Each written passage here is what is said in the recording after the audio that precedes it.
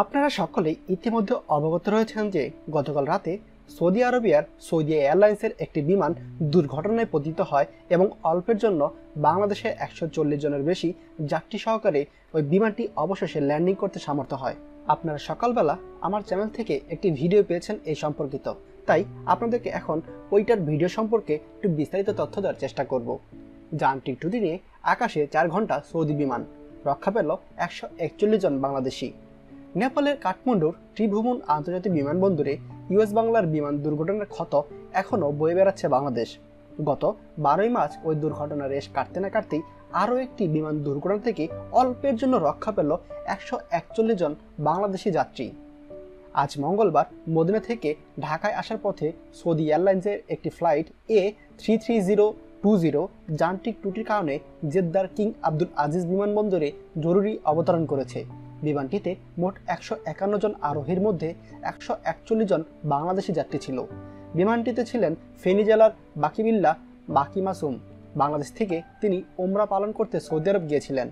তিনি ওমরা পালনকালী একটি কাফেলার প্রধান ছিলেন।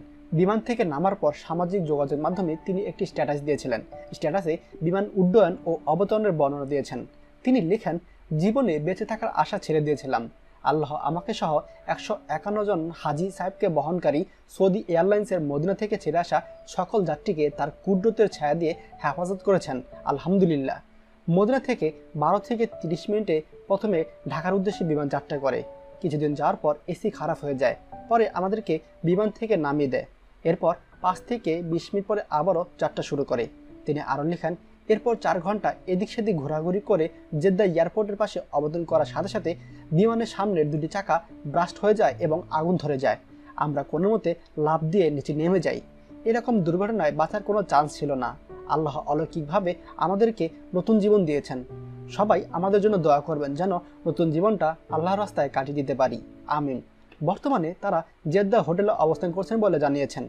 এদিকে সৌদি এয়ারলাইন্স একটি টুইট বার্তা জানিয়েছে যান্ত্রিক ত্রুটির কারণে মদিনা থেকে ঢাকাগামী সৌদি এয়ারলাইন্সের একটি ফ্লাইট জেদ্দার কিং আব্দুল আজিজ বিমানবন্দরে জরুরি অবতরণ করে। এই সময় বিমানটিতে সামনের চাকা আগুন ধরে গিয়েছিল। এতে বিমানটি সামান্য ক্ষয়ক্ষতি হলেও যাত্রীরা নিরাপদে রয়েছেন।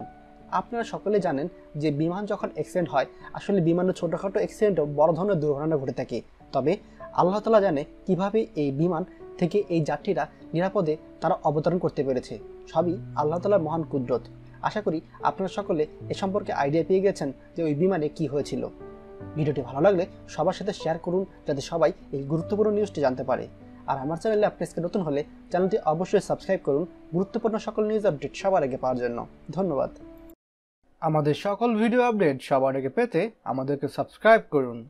সাবস্ক্রাইব করতে সাবস্ক্রাইব আইকনে ক্লিক করুন এবং বেল আইকনটি চাপুন যাতে আমাদের কোনো লেটেস্ট ভিডিও আপনি মিস না করুন।